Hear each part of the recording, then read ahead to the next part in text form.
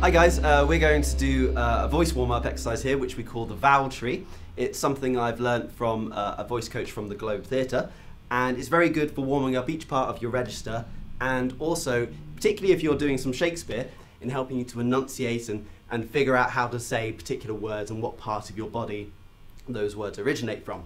So we're going to start at the bottom register, and we're going to work our way up step by step. Okay? Is everyone ready? Yes. Yes. Yeah?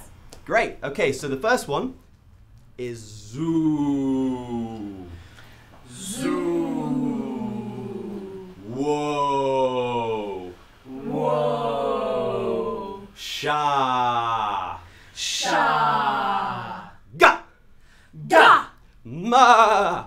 Ma. Fa. Fa. Ha. Ha.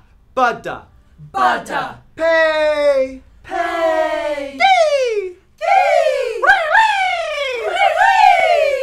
Everyone got that? Yeah. Great. So we're going to do it again, but we're going to do it all one after each other. Yeah? Okay, you ready? Yes. Yes. Great. Zoo.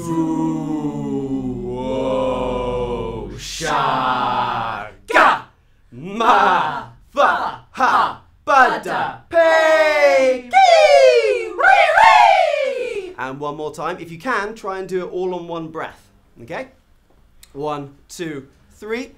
Zoo. Whoa. Sha. Ga. Ma. Fa. Ha. Bada. Pay. And that's the tree.